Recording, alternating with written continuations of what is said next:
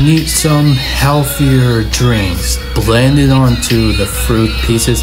There's apples on there. Has more red as apple. It's pieces of chunks, but it has red like that. It's carrots, pineapple. This this one is maybe it gets a healthier fruit is all we need.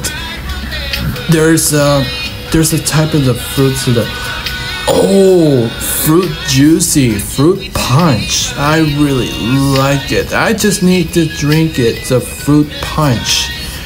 I really hope this uh, needs healthier. That is like a cold plus fruit juice.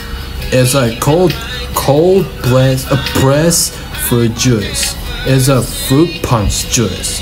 That's what I call it, a fruit punch juice.